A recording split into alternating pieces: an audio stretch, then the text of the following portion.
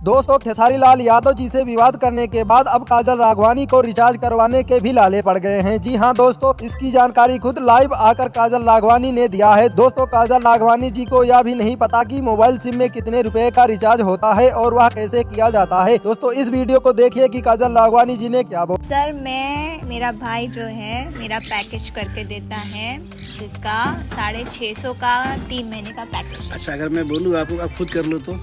मुझे नहीं आता। दोस्तों, जैसा कि आपने देखा कि काजल राघवानी, खेसारी लाल यादव जी से अलग होकर अब अपना रिचार्ज भी नहीं कर पाती हैं। दोस्तों, काजल राघवानी जी का रिचार्ज उनका भाई करता है और काजल राघवानी जी ने यह भी बताया कि उनको ऑनलाइन पेमेंट भी नहीं करना आता। दोस्तों, खेसारी लाल यादव जी से अलग होने के बाद इतने पैसे ही नहीं बचे की वह ऑनलाइन पेमेंट कर सके। दोस्तों, इसका मतलब यही है की भोजपुरी के असली बादशाह किंग खेसारी लाल यादव जी है। दोस्तों, अगर वीडियो पसंद आए तो अपने दोस्तों को ज़रूर शेयर कीजिएगा। दोस्तों, अगर खेसारी लाल यादव जी के बड़े वाले फ़ैन हो तो वीडियो को लाइक और चैनल को सब्सक्राइब ज़रूर कर दीजिएगा।